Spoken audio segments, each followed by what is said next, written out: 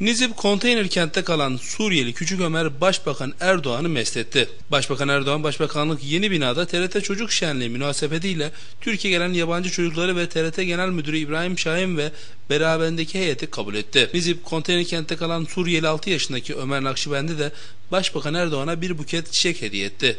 Küçük Ömer'in kendisine bir şeyler söylemek istemesi üzerine eğilerek küçük çocukla konuşan Erdoğan, Ömer'in Türkçe okuduğu İstiklal Marşı'nı dinledi. Erdoğan, Suriyeli ama bakın İstiklal Marşı'nı bizden iyi okuyor dedi.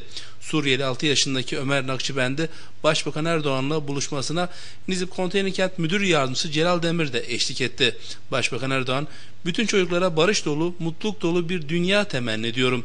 Özellikle burada bulunduğumuz süre içerisinde keyifli anlar yaşamamızı, ömür boyu sürecek arkadaşlıkların, dostlukların, kardeşliklerin oluşmasında bu ziyaretin vesile olmasını diliyorum.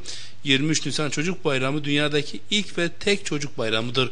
Bu tarih aynı zamanda ülkemizde milli egemenliğin temelinin atıldığı bir tarihtir.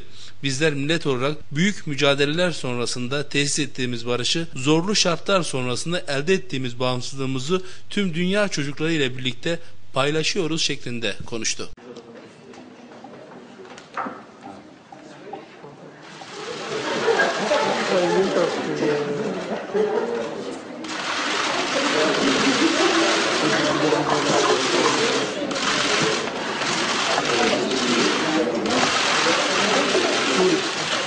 兄弟谢谢你啊不用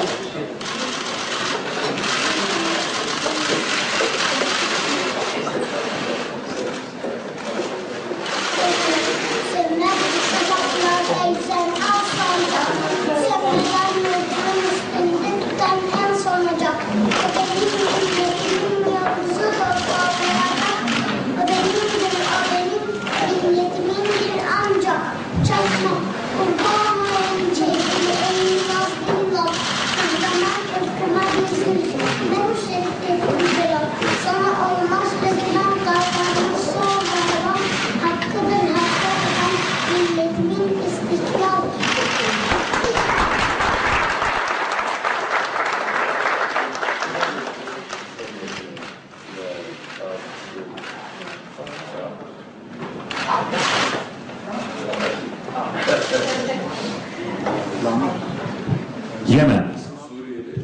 İstiklalın karşılığı güzeli yok. Altı